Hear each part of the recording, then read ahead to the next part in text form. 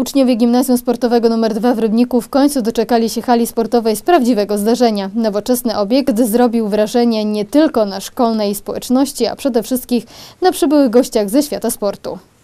Te tłumy to znak, że hala sportowa w Gimnazjum Sportowym nr 2 w Rybniku jest już gotowa. Nowoczesny obiekt z pełnowymiarowym boiskiem do gry w piłkę siatkową i innych gier zespołowych będzie doskonałą bazą dla przyszłych reprezentantów polskiej kadry. Dla Kingi, uczennicy sportowego gimnazjum, ta hala daje mnóstwo możliwości i choć kończy w przyszłym roku szkolnym edukację w tej placówce, to nie kryje zadowolenia z tego obiektu. powiedzmy, że daje nam nowe możliwości, że po prostu możemy tu grać, bo wcześniej musieliśmy jechać e, gdzieś dalej, żeby normalnie ćwiczyć e, na WF-ie.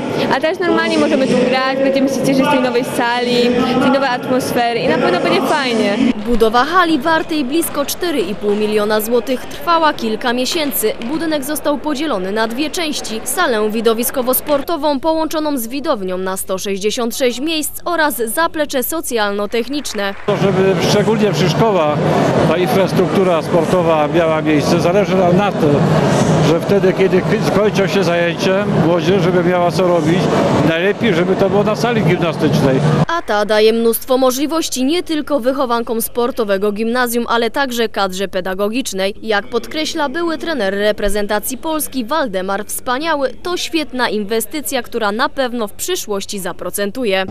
Ja liczę, że tak powiedziałem w swoim przemówieniu, że za ileś lat chciałbym dożyć na, na Mistrzostwach Świata na Igrzyskach Olimpijskich będą wychowankowie z tej szkoły. Jest na to spora szansa, bo od września najprawdopodobniej powstanie tutaj szkoła mistrzostwa sportowego.